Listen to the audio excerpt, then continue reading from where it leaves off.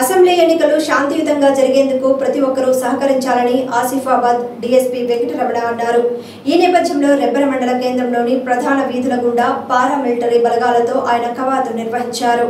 ఈ సందర్భంగా డీఎస్పీ వెంకటరమణ మాట్లాడుతూ సమస్యాత్మక పోలింగ్ కేంద్రాలపై ప్రత్యేక దృష్టి సారించడం జరిగిందని ఎలక్షన్ కమిషన్ ఆదేశాలను ప్రతి ఒక్కరూ పాటించాలని సూచించారు. ఈ కార్యక్రమంలో Rebbena CI Narender SA Chandrashekar police సిబ్బంది పాల్గొన్నారు.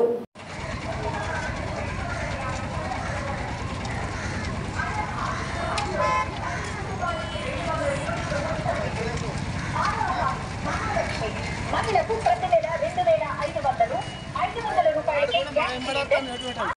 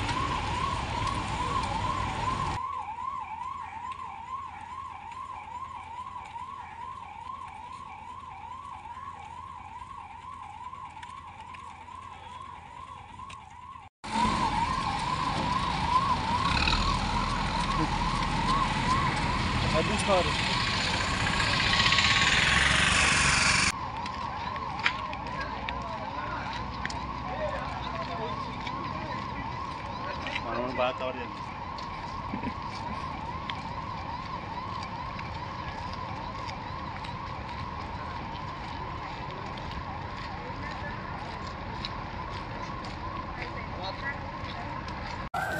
కొట్టకుండా పోవాలి